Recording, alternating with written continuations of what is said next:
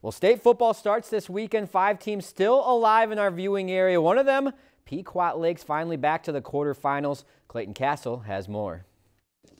It's only the second time in school history, but the Pequot Lakes Patriots are headed to the state football tournament with a lot of confidence and a lot of excitement. Going to state has been a kind of like a dream of our senior classes for a really long time, since probably seventh grade. And now this was kind of our goal, and we finally did it. And now we got to see if we can proceed and make it to the bank. So the matchup against tomorrow will test the Patriots' offense, and all facets will need to be on point on Saturday afternoon. Just need to control the ball, uh, eliminate the turnovers, and just do what we've been doing over the last uh, eight nine weeks is just running hard, and then we, we we throw the ball pretty well as well.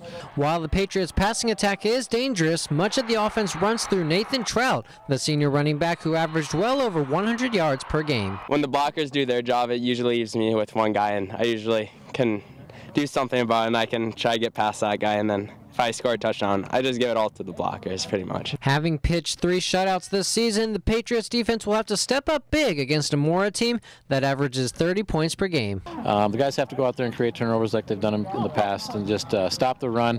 We can't give up the big play. No matter the score on Saturday, Coach Low Miller takes pride in this season and this special team. Seven of them of the seniors have played since their sophomore year, so they started as sophomores. So they have a lot of experience. This is their third time to the section championship, so they knew what it took to, to win it. Reporting in Pequot Lakes, Clayton Castle, Lakeland News. Saturday, 3 p.m. down at Alexandria High School. They'll play Morris. All right. Wish them well. If you've enjoyed this segment of Lakeland News, please consider making a tax-deductible contribution to Lakeland Public Television.